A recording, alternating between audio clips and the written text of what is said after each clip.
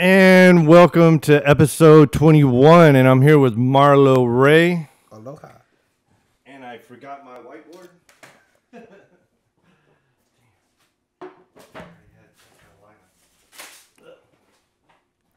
Can't forget about that whiteboard.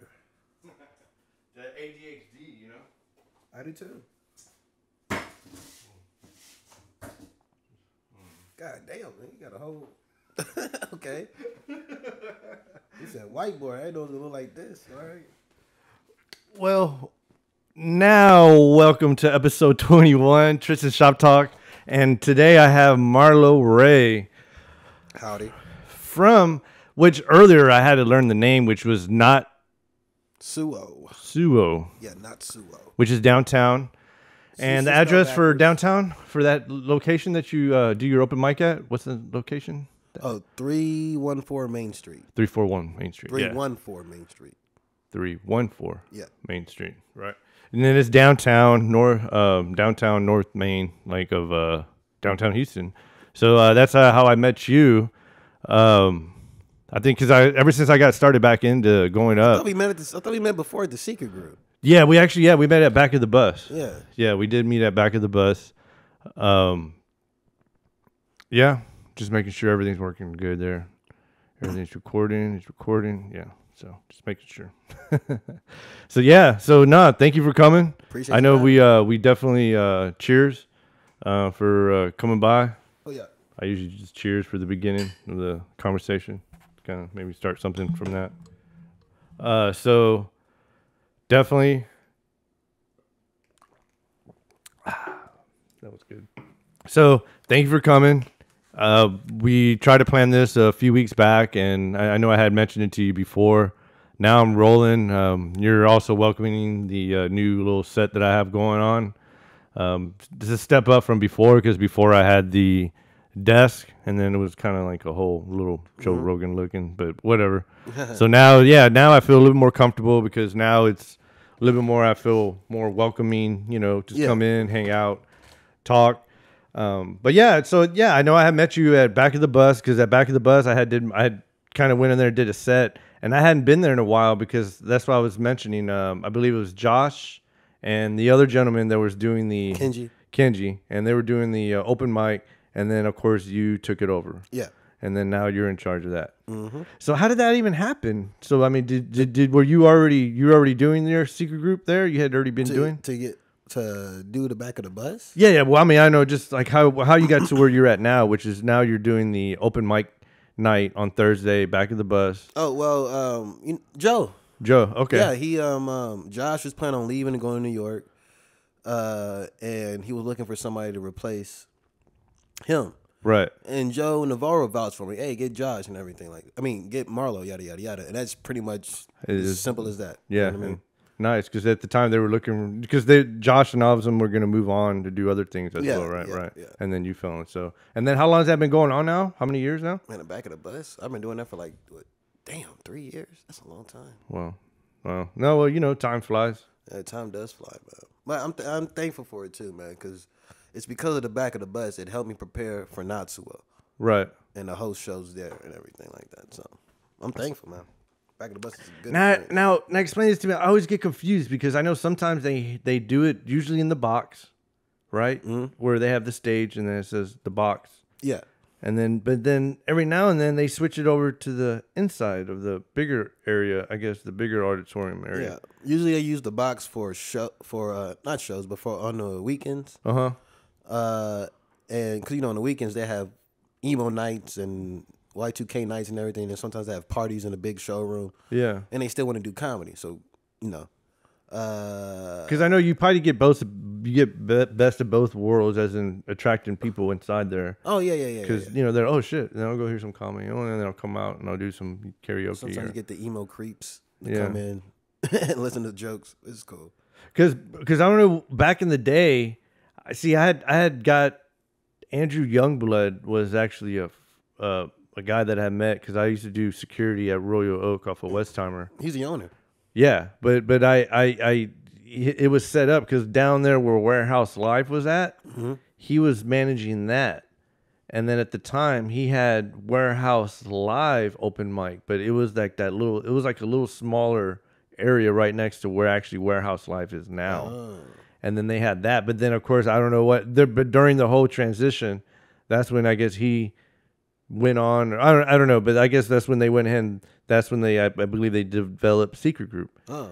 because then that's when I, you know, I, I found out. Then I went back, and then that's when I ran into Andrew Youngblood, and then I was like, oh wow, I was like, yeah, now he's running the show, or he's part of, of course, a group of owners. I, I'm guessing too, you know. Oh, I, I didn't I didn't know that. That's before my career. Mm-hmm. I didn't know. Any, I am. But see that, that that's and then you know I mean that's that's why I, I kind of like I feel drawn there because it's just welcoming you know I mean of course if you know where to go who how to sign up whatever you know and then boom you know Oh yeah, I love no Secret Group is probably, uh, well, it used to be my favorite venue before Knoxville came. Yeah. But Secret Group is that place. It's all I'm always it's always gonna have a special place in my heart. That's where I. It's not where I started comedy, but that's where I developed myself. Right You know what I mean? So I, I love the Secret Group. yeah no no no because I mean like I said I always liked that that room like right behind like just that just that box the box where it says the box Yeah, It's- because that's it's, a cool it's, little it's room very intimate. You know Yeah, I mean? yeah, it's cool, and then it kind of gives you that theater, uh, you know, the theater experience, you know. Mm-hmm. So then that theater experience is just, you know, um, you're there, the crowd, you know. But but the only thing I think about it is just like you catch a lot of people from the baseball game, you catch everybody in that truck. yard. People just wander all around that area. Yeah. So when they wander around, they just go in that area. And that was another question. Isn't that another thing that gets drawn in there? Is like a lot of like what Astros Homeless? games. Well, yeah, yeah, homeless is there in the corner, but but like a lot of Astros games, Yeah. like after Astros games, those guys, those people just, and especially of course if the Astros win, they just go all through the EaDo area right there, and of course that's Mm-hmm. yeah. one of their stops. That they And it's stop funny when they when they win, they show up, or when they lose, they still. You know By. Yeah, yeah, yeah. They're like fuck it, they like, they, they might as well just write Astros a- won, we gotta celebrate. Astros Yeah. lost, man. We gotta fucking go celebrate. Yeah, yeah. we gotta go drink, it. this sh- L off our chest. And then and then uh so yeah, back buzz is Thursday nights. Uh, not Sue. Not you keep Suo. butchering it. You keep. Yeah, I, I, I Oh, it's- uh, it's not that hard. No, no, it's it's like one of those things. Like when I think And about you've it been to much, China, haven't you? Yeah, no, no, fuck did I- yeah, yeah, no, but like, yeah, yeah, but when I when I think about saying something, it's just like I overthink it, and then it's just weird. I just miss it. Mm. It's like I still trip and fall. It's like weird. Like even though I know it's there, I'm just, ah, I'm just you know, just Okay. roll right over but not physically, but you know, Not literally. Suo. Houston spelled backwards. Yeah, uh, I, I, well, I, I had always known that um, it was right there next to Dean's. Dean's. Yeah. And then yeah, so I remember back in the day it was something else, and then I guess they. But I don't know. I think it's an awesome bar. That's No, it's that. Yeah, it's a, it's a nice it's a nice little cool spot. Cause and then like you know as you go up to the third floor, you know you have this little staircase Yeah, kind man. It's not a bar like that in Houston, man. Surprisingly, uh, when I went to Austin, it kind of reminded me of the bars out there. There was so many places that had like hidden rooms and shit like Yeah. that. You know what I mean?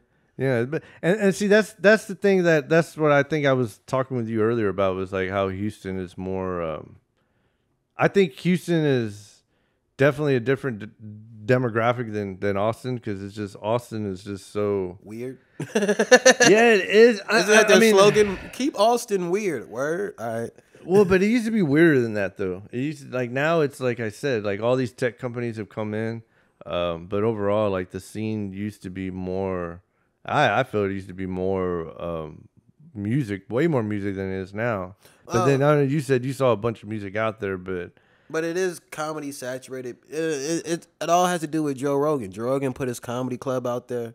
So comics from LA are moving down here. You got big timers, you know, residing in, down in Austin. So yeah, yeah, yeah. When you t- when you told me that, I was like, uh, but the more I think about, it, I'm like, yeah, I, yeah, because Yeah. there wasn't a big juggernaut like Joe Rogan, or you know, to but but it's like how you say it, it's like how can I put it? It it's just a different scene than here. Like here, Houston, but I'm not even down in Houston scene. What I'm saying is Houston's just different in a whole different way. Austin's always just been Austin, and then Austin's been kind of just where it's just more close knit, and I think Houston's always been just more widespread. Yeah, more more more of a yeah, just way but, more diverse. But, but it, it makes sense. Houston is what the fourth biggest state. I mean, city in the country. I still feel we're still like the third largest, if not the second. I mean, we, I mean, because you're thinking of just Houston, but then you also got to think of like all these other little areas around Houston.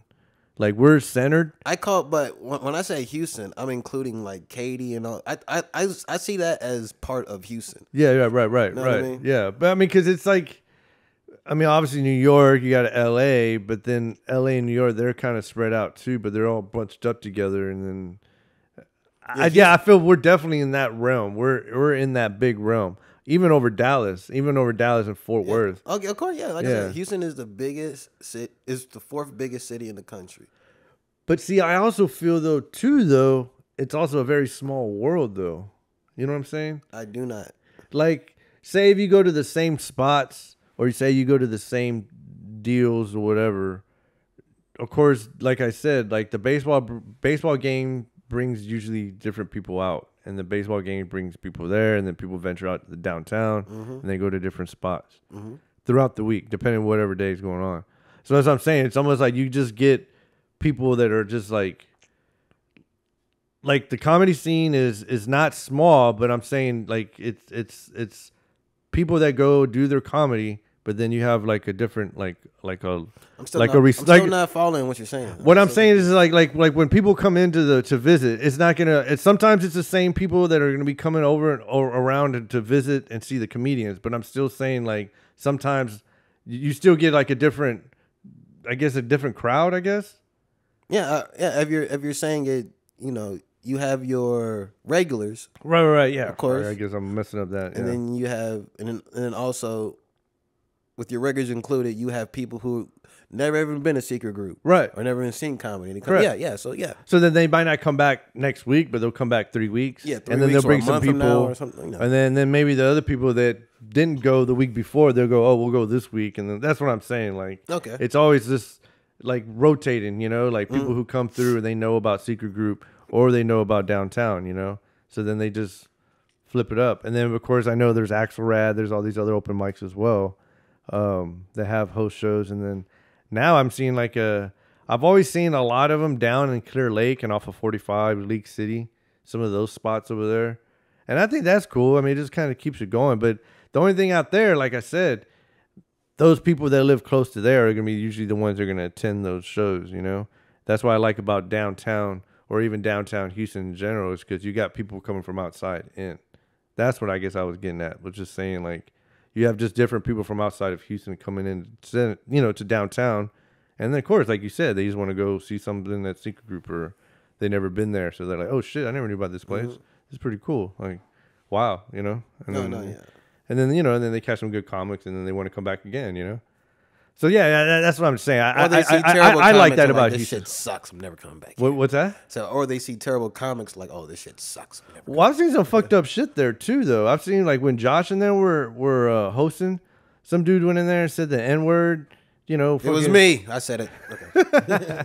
He went in there and just like, and then like the guy was like, "Well, I mean, this is this is a comedy, right? I mean, you can say whatever." It's like, yeah, I don't know about that one, dog. on like stage, you yeah, bro. Like, wait, wait, wait, wait. He was on stage when he said that. Yeah, he was on stage. He did it on Oh, purpose. you know, I just mean, to, just I mean, to you like, can say whatever. eh, but he, but he was just like, there was no material before or even after. He just like, No, said yeah, it. no, you just went up there and said, no, yeah, no, that right there was fucking. That right there. It's like I think he said something, and then he goes, "Yeah," and then he just like says it. I'm like, eh, you can't really do that. You can't really like. I, I mean, you can say whatever the fuck you want to say, but then I'm just saying like, like the whole key here is No, to just- like get com- do somebody laughing, not just Yeah, yeah. come and say, "Yo, I said it." Like, But and I I, said it on the microphone. It's like, okay, I support freedom of speech. I'm like, go up there and say whatever it is you want, but there will be consequences. That's that's all I'm saying. If you if you're a white person or anyone who's not African American, you go up there and say the N word, you're, you're gonna piss someone off. right. Is you know. And then then you know, but, But I'm sa- not. Tell, I'm not. I, I don't think you should say it. But I, Right. will, I will never tell you, hey man, I- you know, don't go up there and say that. Like I'm, I'll be like, try it out. Yeah, and then see what happens. And then See that's another thing. Like like. Thank God, like none of those guys like did anything. You know. I don't know if you to- know the comic is a comedian. Uh, he's been seen from his name Jackson Namey. He's like a little, little teen white I can't even describe. He was like a school shooter. Yeah, yeah. Uh, but I can uh, funny that. dude, but he has a funny N word bit. He's a white dude. He has a funny N word bit talking about um. Uh, sometimes you got to say the N word. It's like touching a hot stove. You got to touch it once to know you're not gonna touch it. Oh, that was just that's, a, that's a good that's a good punchline, but but that's but- that's but- just funny. Yeah, yeah. I just thought about it. Okay, it's. But but but you said he's a white guy saying that joke. Yeah, he doesn't say nigga. Oh yeah, yeah okay. He just be like, well, sometimes you got to say the N word. It's like touching a hot stove. You got to touch it once so you know not to do it again. I'm like, all right. Um, but but yeah, that that was like some shit I've seen there. You know, from just having different people come through there because they they see it they're like, oh shit, it's open mic tonight. Let me just see, let me see what I can get away with. Let me go in there and say some shit and walk out.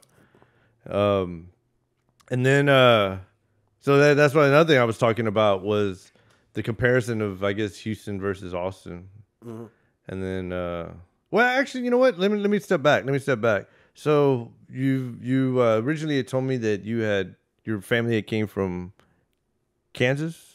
My family is originally from Kansas City, Missouri. Yeah. Yeah, uh, but I was raised here. Right. Houston. Born and raised here in Houston. Wow. And then and then you went to North Shore. North Shore, Yeah. Galena Park. And then Terrible school. So was there something that like happened like when you were younger and you're like, yeah, I want to do that shit. Like I want to make people laugh. Um, oh, fuck or was yeah. it was it was, was- it was it like how young? Do you remember how young oh, you were? how- like when yeah, you fourth grade lunch. fourth grade lunch? Yeah. yeah, man. Was it like a specific thing or was it just No, it was just you know I, I I I was always a shy kid, Yeah. and I knew how to make people laugh before I knew how to actually communicate thoughts and feelings and shit like that. Yeah. So I'm over here sitting by myself during lunch. I don't know what happened. I just know I did something that caused everybody at the table to laugh. So okay, like they're laughing. I'm like, I'm like, all right, I'm just. So I just kept doing what people were laughing, and I'm like, all right. The next day, uh, having lunch again, uh, the cool kids they were just like, yo, Mo, you funny. Come sit next to us. Yo, yo, come, come sit next to yo. Come, you're you're hilarious. Like it was, bro. I'm like, this is how you make friends. This is easy. And that's that right there kind of solidified. I want I want to be the funny guy in a room. Yeah, You yeah. know what I mean? No, I can see that. so fourth grade, and then I mean, was it like also a comedian you you had saw when you were younger? Maybe somebody else had showed you comedians, and then you're like, oh shit, like they, they actually get paid for doing that shit. Say what? Say, I'm like a comedian you saw when you were younger, you're like, oh damn, like they get paid for doing this, Nah, I- actually, or I they're didn't- famous doing this. I didn't know what comedy was until I hit like hmm. I didn't really know what comedy was until like high school.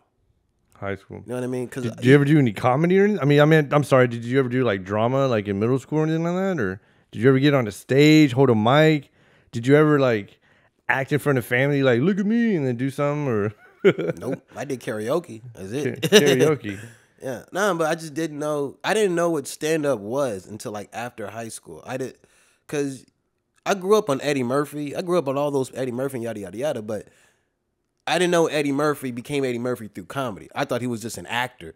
Ah, I mean? yeah, yeah, yeah, yeah, yeah. Yeah. So But see, also like we said earlier, the age difference. the age difference. You so you know Eddie Murphy when he was like doing yeah. comedy, SNL and all that stuff. Yeah, Yes. see, see, me was like, I mean, dude, I could probably fuck you up, man. Benny Hill was like another one. Carol Burnett. Uh, but these were all like, like I said, kind of like the same shit that that's gone, like variety shows. Like Carol Burnett, that was like this woman that like I was in the mid, I was like five or six.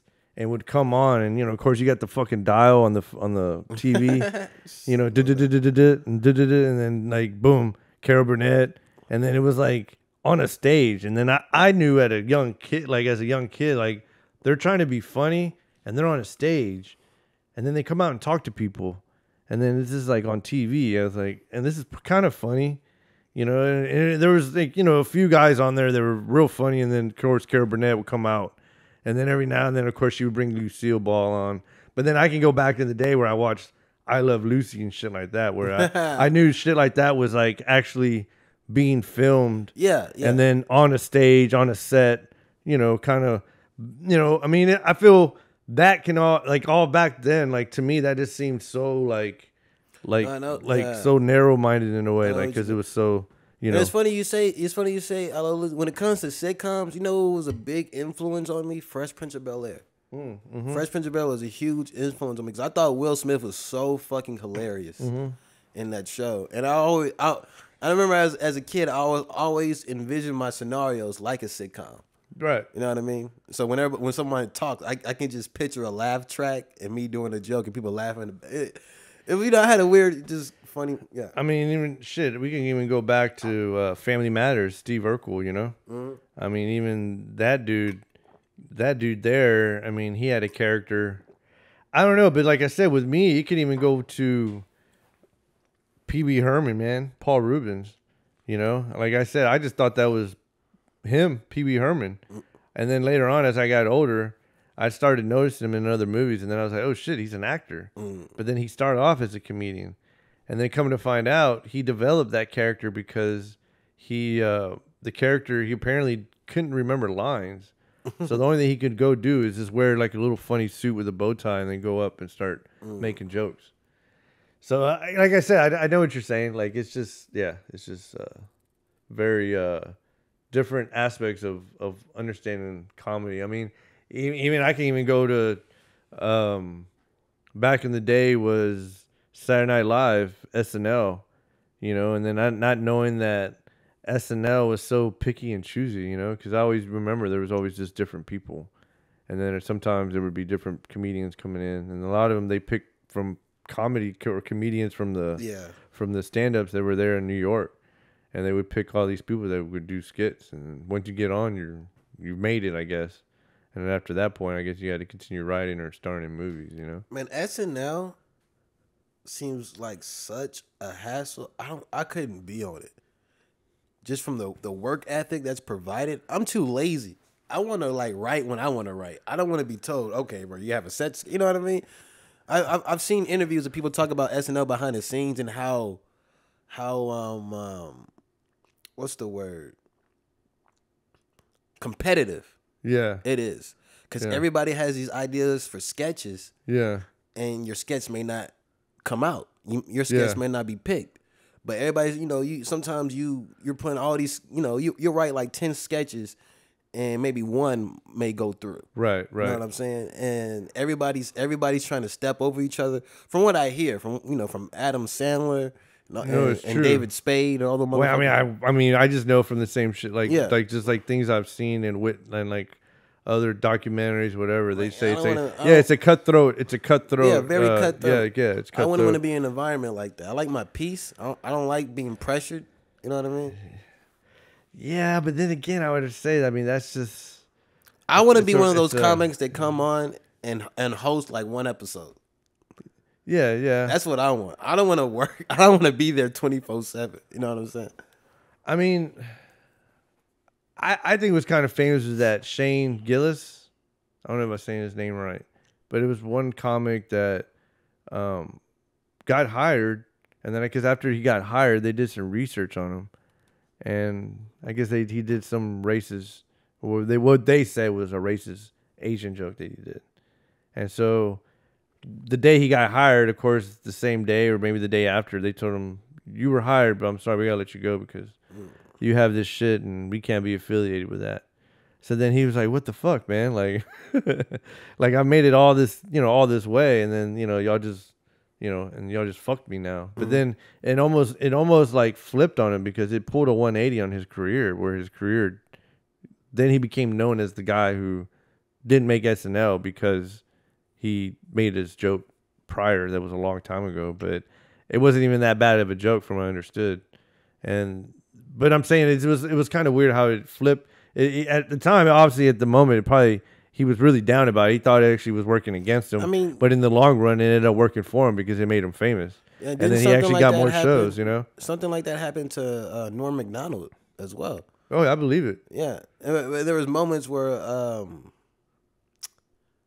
SNL would tell him you can't say this, that, and the other, and he would literally host SNL and say this, that, and the other. You know Yeah, I mean? yeah, he yeah. Go, he would go hard, man. But dude, he he was a natural in that shit too. Him, uh, I think another one was Kevin Nealon. That was another one that was pretty funny. Um, I can go. Kevin Nealon was the other guy. There's another. Well, I mean, I'm like I said, man. I mean, I was I was born a while back, but overall, like I, I, I mean, there was another. There's more than a few, but yeah, it's just they all bring their own touch to it, and it's all even to this day. You know, I think it's all pretty fucking funny. But I think even nowadays, I mean, you watch SNL more on excerpts on YouTube more than fucking you watch it actually. Oh yeah, we're gonna watch here on Saturday night. Yeah. Start it right at you know whatever time it starts, and Yeah, then I watch watch, it all the way I watch Saturday Night Live every Wednesday. but I mean that. But that's another thing. I think like, I think as of right now, that's like, like I like I was saying earlier. I I was I was when I excuse me when I was saying about how people communicate with each other. Like I feel comedy, music, live music, live comedy, um, podcasts are the last of the last where people are actually physically communicating with each other, with each other, and actually having a conversation. When you really think about people every day who are on their phones, who are so embedded in like following or likes or all this other shit, that it kind of gets away from actually just normally communicating with people, you know? Mm-hmm. I mean, I, I just feel like from when I was growing up to now, like it's yeah, it's just a big fucking 180. And then now I can only imagine like like just so much information comes at you. So obviously, you know, that's the whole narrative now. Like a lot of information comes at you. So it's just so hard to like kind of I mean, of course, if you like I said, I, that's why I really respect when people go to the comedy show or they go to your show Monday, Wednesday, even Thursday night, you know, because these people are physically going out there to see some comedy and physically hear somebody talk in front of them and make a joke, whether they bomb or they don't, you know. So it's like I, I like that's why I like I truly believe in this podcast. I truly believe in like comedy, live music. Like it's it's just changing, man, because it's Oh, like yeah. changed. It's changed so But- much but- now, you know. But what's so what's so cool about what you're mentioning is like even though we're, we're all this technology is advancing, everybody's on social media, you know, you can talk to somebody through a phone and everything. There's there's there's something still traditional about what you described that will never I don't think it will ever die. Comedy won't ever die because it's that intimacy, man. Yeah, people you know people crave that. And i think that's it's in our nature to want to be surrounded by people and be in a group and just have conversation and everything like that.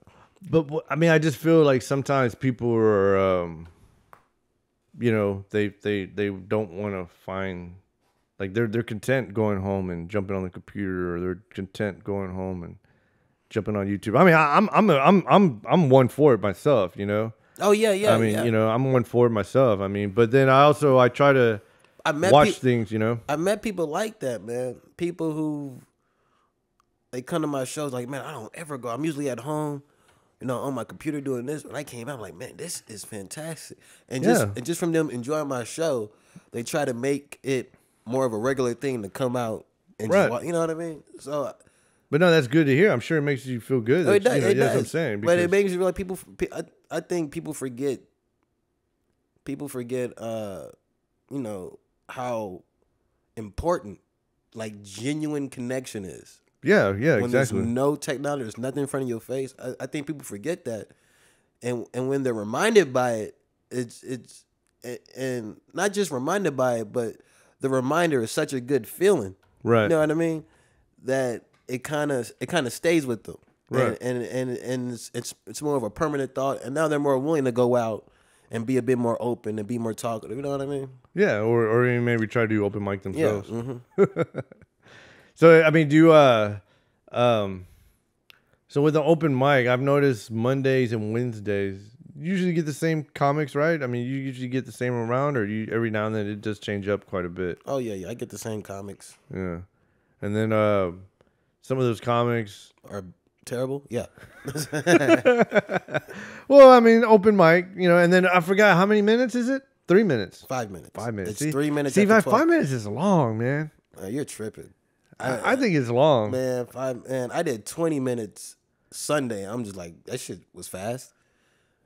But see, I, I've also heard other comics it's like having a loaded gun. You got to have it loaded, like for whatever.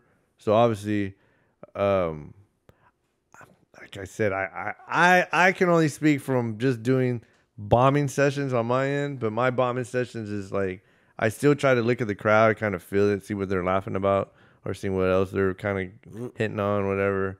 And then you know, usually I go up. I mean, that's so me, that's me just observing, but I just know like like you have to be ready for whatever that curveball might come through Oh, yeah. or of of them like like I, like do you get mad when people walk out in the middle of your set? No, You don't care? no. Yeah. Like, as long as it's not the last person. Yeah. Yeah, yeah, I don't- yeah. I don't care. Yeah, yeah.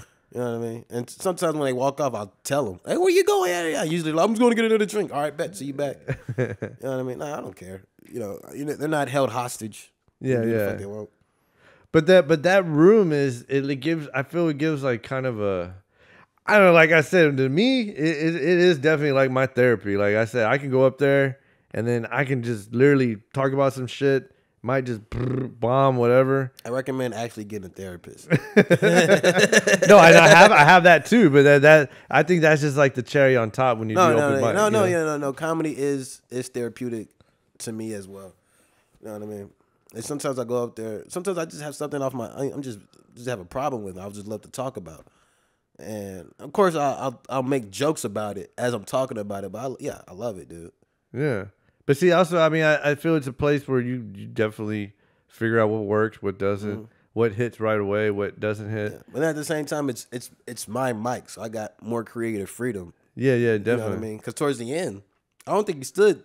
Have you, you haven't stayed towards the end, huh? No, I have. I've, I've stayed once or twice. I think when you, you usually you usually finish off and Yeah, and I do like I probably Yeah. do like thirty or up to like an hour, yeah, and then, yeah, yeah. These, these fools they stay. and they, yeah, just fucking Yeah. with people, and you know those are the moments I'm just talking.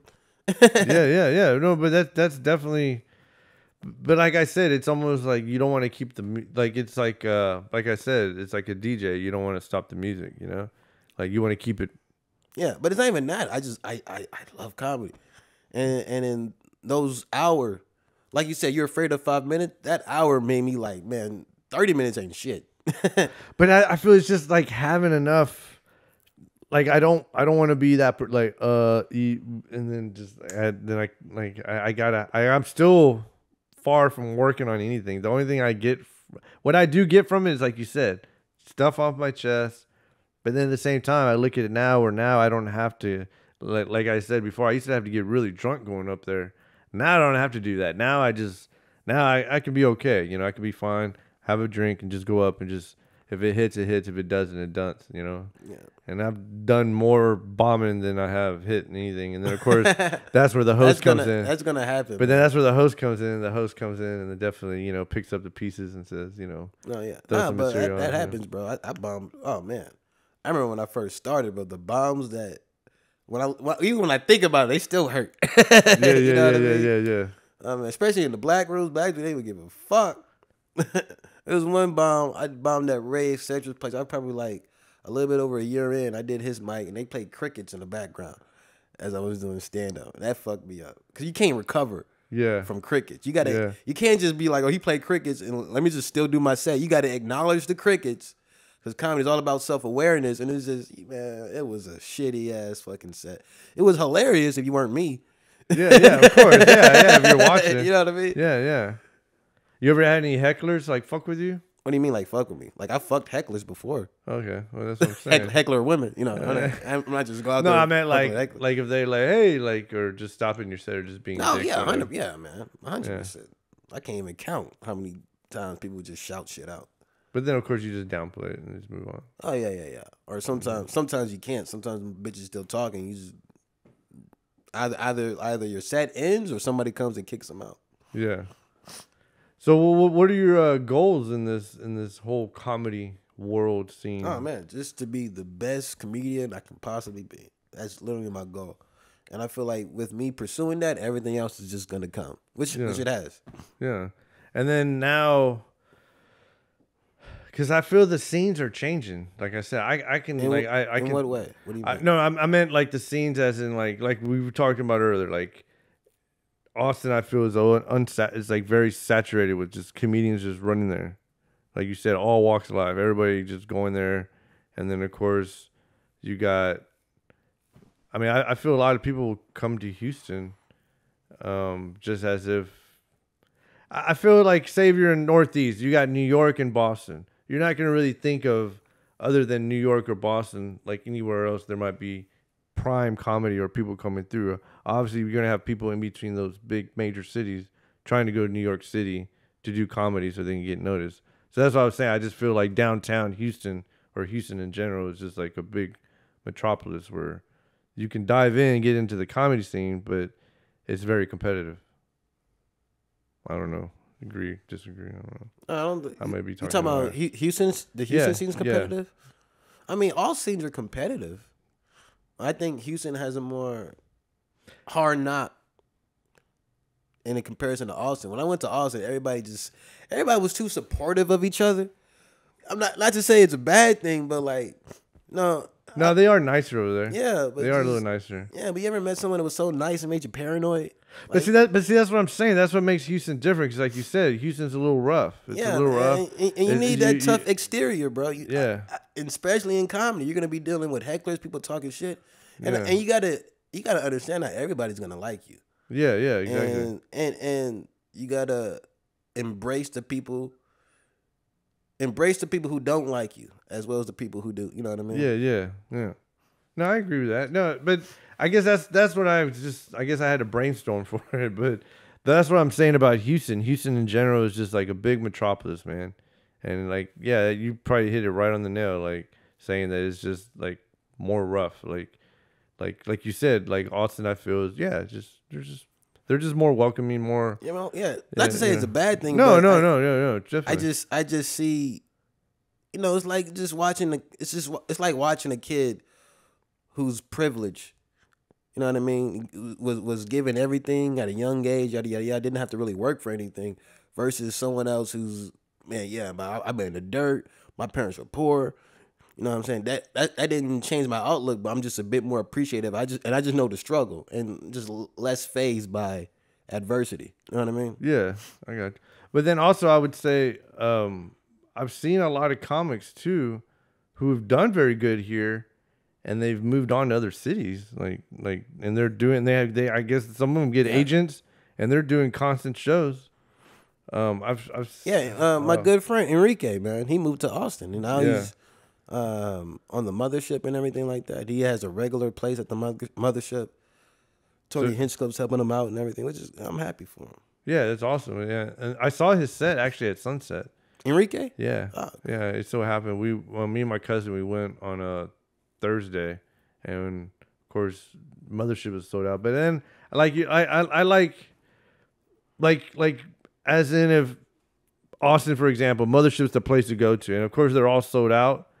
That's fine. I like to go to like the other spots, like the other spots where it's like, you know, Vulcan maybe or yeah, Sunset, like little spots that are, you know, where you get kind of like comedians that are starting up or good Yeah, comedians that are not hundred percent out there. I, I you know, feel you because I feel that's that's where like you get the true like, um, you get like like real shit. You know what I'm saying? Like versus like and at the same time, there's nothing funnier to me in comedy than watching another comic bomb. That's the funniest thing in the world to me, bro. You you you see me laugh at oh yeah. I just I just love it, bro. I love it. No, yeah, you you you made some, you made a few jokes on mine when I came up. Like you had said that one, like when I had because I did some uh, said about like I, I was bringing up my dad and me living in, my dad's basement and whatever. I'll probably say something about therapy, right? Yeah, yeah, yeah. Yeah, you, yeah, you, gotta- you walked up, you're like, you're like, damn, homie, like, go to therapy, bro. Like, you should talk about your dad and shit. I was like, I was like, okay, cool. I was like, I was like shit, that's that's. And that was the day I. I was like, I'll take that one. That, that was that was that was a good one. oh man. But nah, man. But that's but see, that's that's like, because I was raised in like just I was raised in a dysfunctional type of atmosphere. You know, like a lot of not not like dysfunctional where like things were fucked up, fucked up. But I'm just saying in normal like I didn't have. I think I, I the way I I would say like things that aren't supposed to be funny are funny to me sometimes I mean, same. like here. like some sometimes like when I watch Sopranos and then you know they just start you know like in general like the, you know some dude loses his whole company everything because they're just draining them. the mafia's just draining them and you know that's kind of funny because then to me it's just like that dumbass got in trouble because he was gambling and then he got tied in with the mafia. Of course, they're taking on. It's just funny, you know. It's I just feel you, bro. I'm the same way, bro. I was watching Titanic and I laughed when the boat sank. like, or, the part where it cracked, or the part where it like. Oh you know, well, no, just- when it was going down. but like I said, I mean, when you think about it, there's Bro, when that there. dude, when that dude hit the fucking pin, like the little uh, wheel and flip, I was, yeah, bloop, bloop, I was and they like, actually did the sound when you hear it. When you Yeah, it's a bloop. That's just, that's just or or no, what I thought was kind of funny was those funny. was the the three uh the violinists and I guess what was it like? oh uh, yes, we're gonna be. I'm like, nigga, get a boat, nigga. no, well, no, the three they were just wanted to stay. They're like, fuck it, like uh, Yeah, they they, they looked at play they- music. Yeah, they were like, we're just gonna play music till we die. Fuck it, might as well oh, play. bro, if I was it. on that boat, I would have grabbed that shit and smashed it on the goddamn. Bro, Would you, better. would you do comedy? You're like, ah, fuck it, let me just Fuck do no, some I'm comedy. trying to live, nigga. Fuck comedy. It's not a laughing matter. The boat's going down. Hey, but that's what I'm saying. Those guys, they were like, yo, we're gonna do music. Like, Uh, we're, we're gonna play down to, to the day we I would have slapped both of them. to, to the last breath. You white people are always giving up so easily. Nigga, I'm gonna, I'm gonna find a way how to survive. See, that's what I'm saying. Like, like, like, and then, and then even at the end, the end, there was room there, man. There was something he could have did. He, he, they, she, she could have floated over somewhere. Maybe got another piece of wood. Maybe brought it over, threw his body on there. But then, you know, of course, they they dip at the very end where then she he ends up passing out, Oh yeah, and then ends up then motherfucker just dies. Obviously, hypothermia, you know. yeah, Um, yeah. That, it was enough room in there for the both of them. And then, uh, then you know, even nowadays, I mean, that shit wouldn't happen, man. That that would be like a poor ass motherfucker like him trying to hook up with her. Like that shit wouldn't have gone down. Not, not in real life, but were obviously the movies. That's the why she killed him. My family cannot know about you. But and then that, yeah, because I mean, this was just a one. it- you know, that was was just a a one. Because you know that was just a one night. I bet you like this was just a fling, nigga. I, I ain't finna take you back. What are you talking? I'm gonna go back to England. yeah, and then like I said, the yeah, but yeah, yeah there, there- there's that movie, uh, Forrest Gump. That that's just pretty. Wouldn't it be funny? Would it be funny if Jack did survive?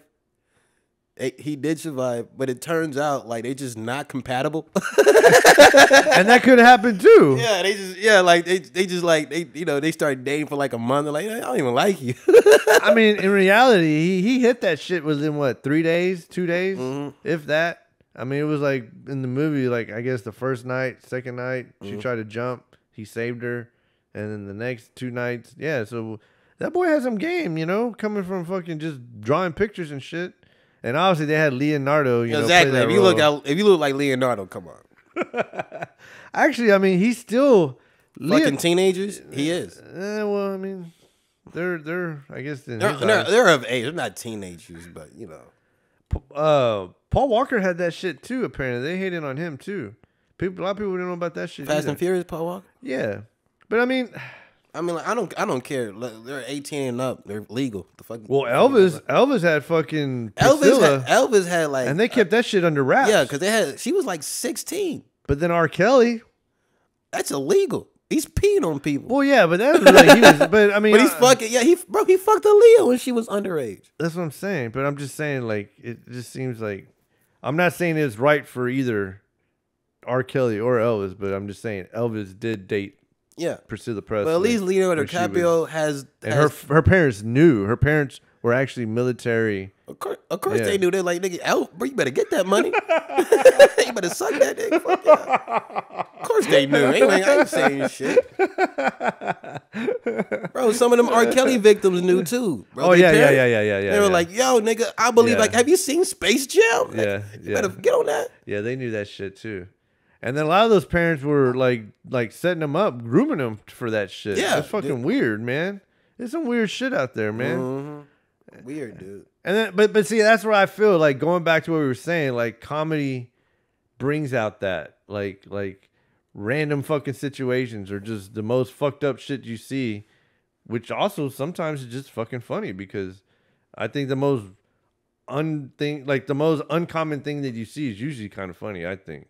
I mean, I worked in the I worked in the ER. I'm not saying everything was funny in there, but there were some overacting people that would go in there and overact on some shit that really wasn't that serious. And Yeah. and then you see so much of it, you just can compare the comparison. So that's that's the that's the what I bring to it. You know, as in saying like, come on. I, I just think society, the way society, the way we live in it, it uh it require it requires us the everyday living in society requires us to be a little bit um just we can't be too honest. You can't be too honest in society. You know what I mean? You can't just walk down the street and see a fat girl and be like, God damn, bitch, you need to lose some fucking weight. You can't do that. You know what I mean? It's just, it's not society. So I think comedy has a way of like, yeah, this bitch is fat. And she probably needs to lose weight. Uh. But comedy has a way of like, okay, I'm on stage. I can point it out. Even though it's mean, it still has the realm of comedy in it. So it's okay. You know what I mean? But then some people like being fat. Some people are cool with being fat. No, they don't like being fat. They're just lazy.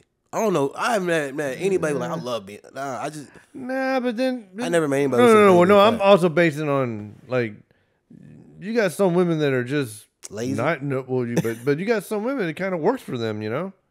huh? And you got some women that doesn't, you know, and then some women that just. All I'm saying, like in general, is Some of the not Lizzo all- types? I'm not. oh, that's a whole other conversation. Oh, there. where is it? Okay, I thought you were talking. I thought you were talking about Lizzo. Oh, all right, cool. Do Lizzo bitches? Well, I'm saying like somebody's. I mean, that fool apparently. Fat positivity, Apparently, bro. apparently, Lizzo was dating some NFL player. I don't know how true that is. Shit is, but obviously it was. Uh, but excuse me. My whole point is there's interest in there with women like that. So with interest in with women like that, like they just like fuck it. I guess. Yeah, I'm not, man, I thought- I'm not, I guess I'm just gonna be lazy, or I guess I'm just not even gonna do. They're all talking else. about, bo- you know, body positivity. I thought body positivity was being healthy, not just accepting you for the fucking slump that you are. You know what I mean? I think that's shallow. Yeah. Body But, but see, I guess even then we have to be careful with that shit. No, be careful saying that shit. I mean, What, that's fat? almost that's almost like saying, yeah, we can't call people fat. Oh boy, I call people fat all the fucking time. Go talk to Nate Ortiz. I bring him all the time. Give it up for the fattest comic in Houston, Nate Ortiz.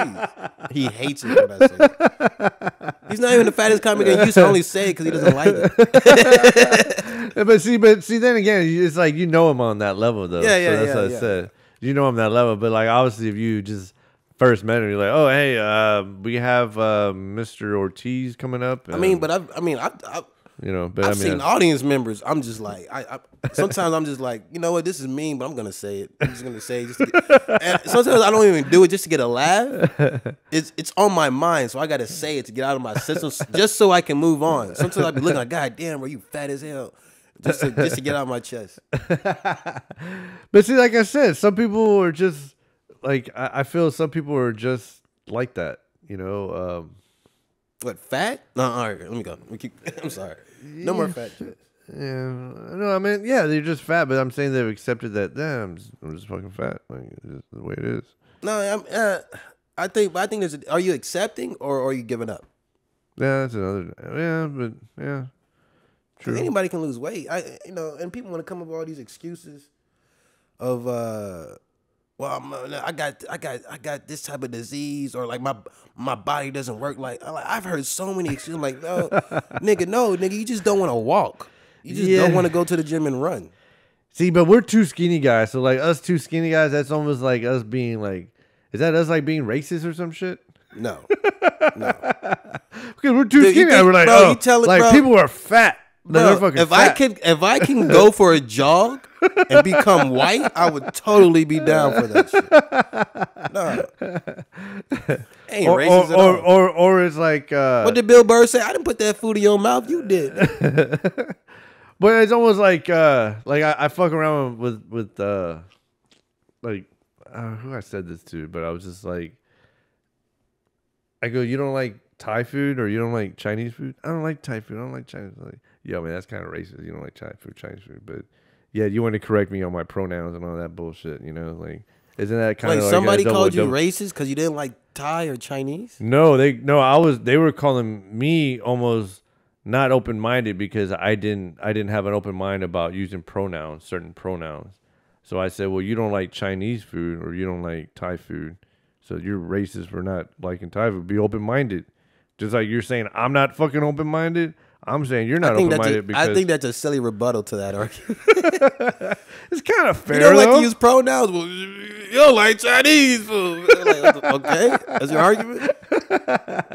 well, it's kind of childish, but Uh, I mean, yeah, at the no. same time, I mean, I'm down for being childish. But No, I know, saying, but I just can't. I just that's just not something I would. I would just be like, if I heard that like amongst me, between my friends, I'd be like, really, like, like I see your point, but this is the best. No, they're like, Chinese food, no, they're they're like there's other situation too where this dude goes, "Hey man, where you from?" I go, "I'm from." This is in the Navy. I'm from Texas. He's like, "You're from Texas, man?" He goes, "Oh man, I thought you're from L.A. or something because I don't like the way the guys talk in L.A. man, especially the Mexican guys in L.A." I was like, "Yo, bro, that's a totally different area from where I'm from, bro. Like like L.A., South L.A. I'm He's like, curious. How do Mexicans in LA talk? uh, well, L.A. Spanish speaking is a lot different from Texas." Really? Spanish speaking. It's Okay. totally different. But but uh, then again, I'm not the right Mexican to even be saying some shit like that. I'm I'm a like I said, that whole shit. That's a whole other conversation within itself too. But my whole point, this guy was calling out these people from California that were typically Mexican, and he was uh I believe Venezuelan. He was from South America. I would say that. I'll say that. I'll just nip it in the butt. But he was saying he didn't like the way they talked. And I go, that's kind of fucked up. And he goes, how? I go, you're Hispanic too, but you're from South of Texas. I mean, you're from South America. And now you're saying, like, how can you as a Hispanic tell about another Hispanic that you don't like the way they talk because from where they're from, but then you're from outside of the country. You're not even American yourself. Like, that's like kind of like, that's like being, like, that's almost like saying, I don't like Mexicans that are too dark because I like Mexicans that are light. You know, it's like, and that's just, that's I just, don't like dark. Dark. or or or you know, I just, I oh yeah, yeah I, don't, I don't like dark ass black guys. That's pretty fucked up. You know, I Like- don't like dark.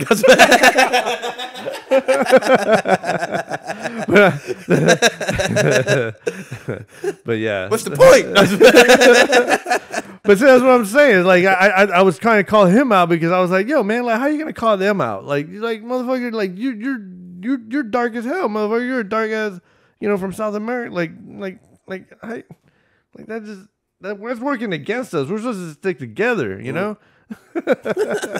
we gotta stick together, dog. Black, you know? this was Mexican Like- Mexican crime makes me Yeah, yeah, man. Like, you, well, I'm not Mexican. I- I'm, I'm from South America. Whatever, dog. You're here. You're here in the Navy. That's You're- what I tell you're- everybody. It's like, bro, I had this dude come to me. I'm not African American. I'm not black. I am Jamaican. I'm like, uh, you still a nigga, bro. What the fuck you talking about? You the same. The police gonna come over and be like, let me hear your action just to make sure I give you the right bullets. and and then I mean you you just I don't know. It's just like I think nowadays you have to be very but that's what I like about comedy because even the open mics, you know, you might say some fucked up shit, but like oh well, like you you say I feel you just say it and see what, you know, of course go Yeah, go, man. go I support, like I said, I support freedom of speech.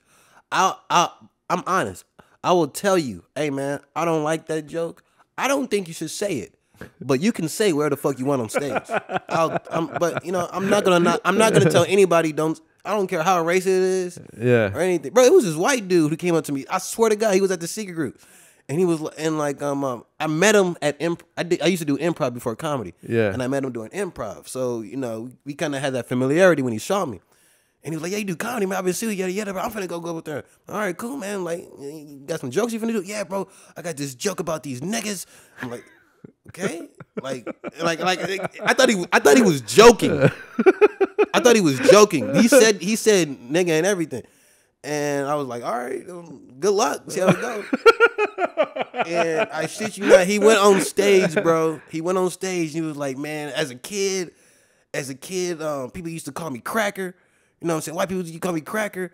Uh, black kids used to call me cracker. I'm like, man, okay then, nigger. How do you? I'm like, yo, whoa, whoa. Did you have to go up there and be like, No, hey, I wasn't. I wasn't hosting. Uh, Je- you know Jesse, the big white buff dude who works. He's the bartender there. Yeah, yeah, yeah, yeah, yeah. He was hosting, and he like kicked him out. The second he said "nigger," kick. Nope, you're done. You're done. Oh my god. And and what was so funny about that was everybody's reaction. I was like the only one dead. like, cause you got all these white people like, ooh, and I'm over here like, ah, he said it was just like, yo, this dude is bugging. Did you ever see him after that? I haven't seen him. uh, I haven't seen him after that. but this motherfucker was like 65 years old. And he was, and then he he tried to explain to me, growing up, man, we could say those things. I'm like, no, you, no, you couldn't. But see, that's even fucked up. Like, like you, like you're saying, like uh, a guy that age saying like we could say shit like that. It's like, bro, it wasn't right then. yeah, either. exactly. you know, no, you couldn't. it wasn't right then. So Yeah. what makes it right now? Like, huh? Like, but I don't know, man. That's the thing with like a lot of people in those ages, man. They just think like, I don't know. I also think like they just, I don't know. There's just another But- world but- sometimes. But, the the the the cool thing about it was, yeah, he got kicked out and everything, but like he he he, I'm I'm being totally honest, he didn't seem racist. Yeah. he seemed ignorant. Which Yeah. is, which is why I wasn't really mad. Right, I talked right. to I talked to this dude before. He just seemed like someone who was just out of touch on what times are now, and he. Never like a mean dude, you know what I'm saying? He, he wasn't a mean guy. He was just an old white ignorant motherfucker that's having to say the end. So I don't, I don't, I don't feel any animosity towards that. I mean, it was funny even to the point where he said they used to call me Cracker. yeah, So I decided. To yeah. I was like, yo, my man. it's almost like he could have stopped it right They there. could have stopped it right there. Yeah, he just kept. I on didn't say it. he could have left the joke there. He's like, I was about to say it, but I could have said it. Yeah, man. They But probably he would've didn't. But he didn't. shit. He he didn't seem like a racist to me at all. He just seemed like he was just ignorant, just super ignorant. Like, what could I say? Like, just out of touch. Um, so my dad is, yeah, my dad is up there in age, and I would say, yeah, a lot of a lot of the. That's what I'm like. I try to base a lot of the stuff that I've experienced through him and watched him. I mean, I've seen my dad talk to. Um, back in the day, we used to go into Asian restaurants, and he would get try to get jobs as welding some of their equipment he would talk to them the way that he would that the way they would talk to him. Okay. Obviously, if we go into a Chinese restaurant or a Vietnamese restaurant or something, That'd be hilarious. Hello. they would how you they wouldn't really speak good English. You know, they would just speak And, he'll, like, and, and he'll he'll start speaking terrible. English. "I give you good price." He goes, "Uh, I need uh, I need this fixed right here. Cut uh, city tells me I need a fix now." He goes, "My dad would go." I fix good, good, good fix, good fix for you. I give, I give good price for you, good price. And then I would tell my, I was like, Dad, like, why do you talk to him like that? Like, what do you mean? Like, what? But my dad wouldn't even catch it that he was talking to him the way, the same way they were Nah, talking to him. I think it's that whole win in Rome. You know what I mean? I get But it. But I think it's the same thing, like you're saying. Like he, you're not, he's not trying to be ignorant. He's just like, like, yo, like, you know, that's how. I mean, I'm just gonna refrain, like, Yeah. go back this way, same way. Like, you give me good price, I give you good price. I give you good price. You know, Mm. one five zero, one five zero. He's like one five zero, one five zero five. Okay. Ah, no, no, no, too much. He goes, oh, too much. If it's too much, I, don't- I, I don't do job. I don't do job. And then I'm like, Dad, oh my god, my dad's like diving in on this, like, like talking. funny. Yeah, and- but at the I time, love you to know, see him in a black neighborhood. What's up, cuz? Hey, yeah, I'm like, yo. oh my dad would correct that shit too, because some some black guys would come up to him and be like, "What's up, Mexican?" He goes, "I'm not a Mexican. I'm a Mexican." or no, then he'll flip and say he's a Mexican American. He'll go on that spill, whatever. Yeah, but yeah, so I try to like a lot of the things that I've seen my dad do. Man, it's kind of funny. It's like I always feel my dad's kind of like John Witherspoon, but the Mexican John Witherspoon. That's funny. Yeah, he's the Mexican John Witherspoon. Like you know, he'll he'll uh he'll even Come back in a restaurant about 30, 45 minutes. or or or like another joke would be like uh you know being that old and being so tight with money that you're gonna save money by just washing your underwear once a week. That's just- disgusting. what? I'm not saying he did it. I'm not saying he did it. Oh, I'm just God. saying like to but that that's the, the the joke I'm trying He to probably come up. gave your mom like a whole bunch of fucking STDs and shit. I got a urinary tract. They're they're uh they're high school and uh, high school sweethearts. Mm. They've been married for they're in their late seventies, man. So, Oh man, and been married since high school. yeah. Well, after a little bit after well, my after my dad came back from Vietnam, Holy shit. Yeah, my dad like he was like in this whole like it was almost like like that's what I said. It's almost like a like a story, a movie you would watch, you know, in the sixties, you got sixties music, got the cars, you know, civil rights, everything happening, Vietnam, come back, you know, marrying my high school sweetheart. It was like a damn movie in a way. I, I always think like sometimes like back in the day they like America was kind of like role played as like a movie, you know, American Dream, house, kids, barbecue. And you realize that dream is a nightmare. In a way, yeah, for some, for some, yeah, or just the chase for it. Just like, that's what I was saying. Like I, that's what I was saying earlier. Like things I felt that I see as funny now is more of me just being conditioned on things that I was conditioned with when I was younger that weren't supposed to be funny, but just you know seeing fights every day in my neighborhood, seeing I don't know, seeing a body laying on the ground, you know, driving. I don't know. It's just like I said, just some fucked up shit and all. But and then lower, later on, you know, you just get older and you're like, yo, that wasn't normal that we saw that shit, Yeah. or that wasn't too normal that you would see this or that or whatever, you know. Uh-huh. But then again, you've become conditioned, and then now you just kind of have to gradually make a sense of humor out of things, or you know, make humor out of things just to make it kind of to kind of just go go with the motions, I guess, you know. But yeah, man. So, um, I guess we got oh yeah, we got an hour in, so not too bad. I didn't know um, how long we else we should go. I mean, we've been going for a minute. I think I got about like 10 minutes left in me. No, I feel you, man. Shit, we can we can go ahead and nip it in the butt, you know. For sure, for sure, for sure. But yeah, man, definitely. I'm glad you came. So, what do you think of the studio? So, oh, man. It's shit. I'm just playing. nah, it's, it's dope. I enjoyed it, man. yeah, man. But but uh, the idea would be, shit. Maybe we could get Joe and you back here. Oh, that'd be dope. Me and Joe, me, and Joe Chopper. Yeah, and think about it, I would love it because I haven't talked to Joe in a long time. No, I can line that up. So I'll be that'd be dope. I could, I could definitely line that up. Um, and then you don't have to pick me up. I'll just ride with Joe. no, that too. well, I mean, I, I don't know. I don't know if he's still living in Montrose though. Uh, he he he does not live in Montrose anymore. He's living somewhere else, but it's still close. He's still still in the proximity. Right now, I'm just gonna go ahead and go live real quick, just to show him out there, and then. uh But nah, uh, I'm glad you came. Glad you came to visit, Marlo. I'm glad I got to show you the my place of recording. Nah, man, this was dope, man. This is cool. It was a nice vibe. I, pre- I appreciate you for having me, man. No, definitely, man. Um, like I said, I I Next time I'm coming back, bro, I'm bringing bitches. I'm bringing fucking no no I'm no no. I mean, like I said, no, I mean, but the, the the the whole idea, like my my other little dream would be, um, mix Mixmag has this where they have a studio and they bring different DJs. So instead of comedy, I mean, I'm sorry, instead of DJs, it'll be comedy. I mean, I guess that's the same thing as a podcast already. But I'm just saying, like, but I just what I liked about the Mixmag Studios, they would bring in different DJs, and then of course, it's not like a club area, but like they'll bring in their friends, their little entourage, mm. and then they get to party, and then of course it's broadcasted live. So it's broadcasted live, and there's just, I mean, it's what's been going on already right now. But like I said, the whole other idea would be also broadcasting a show live too. But then I guess I'm not there on followers, man. I'm getting there. How many Like I followers you said, got? mm, it's 69. You got 69 That's it. on Instagram or just on your podcast? No, on podcast. No, that's on YouTube. No. Yeah, on, on Instagram, I'm only at 800, man.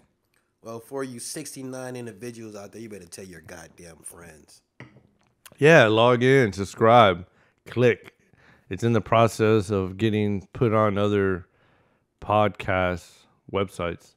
So that's another thing. I'm like I said, I've gotten to this point, man. This is like I've the where I've gotten right now with this podcast is Oh, got shit. yeah, we're like at this point, this is before 2020, man. So this has all been learning three years just to even get down to the point of learning the programs, learning how to set up these mics, And- learning how and- everything, and- man. If anything, bro, like, you know, if this podcast don't work, you already got the set up for a nice OnlyFans. Oh yeah, well I can just I can really roll that right in here too, you know, and start just making a studio out of the OnlyFans. That's why I said. Amazon should do like a a package That's deal, man. hilarious. Like, they I should think do- That's. You should turn that into a bit. That's fucking. Fun. Yeah, like I said, but I, I, I was like, I, like that's why there's so many OnlyFans because they, they can buy all this shit for like under 120 bucks, and then the next Get thing the you know, OnlyFans package with a free dildo. fuck yeah. and then you know they have the plus minus on there, like you can get it all combined, yeah, and it costs this much. Bam, right there, you know. Mm-hmm. But yeah, man, definitely, man. I, want to have you back, so uh, definitely we'll have you back again soon enough. And uh, thank you, man, for coming. I I guess you, that'll be it. Word.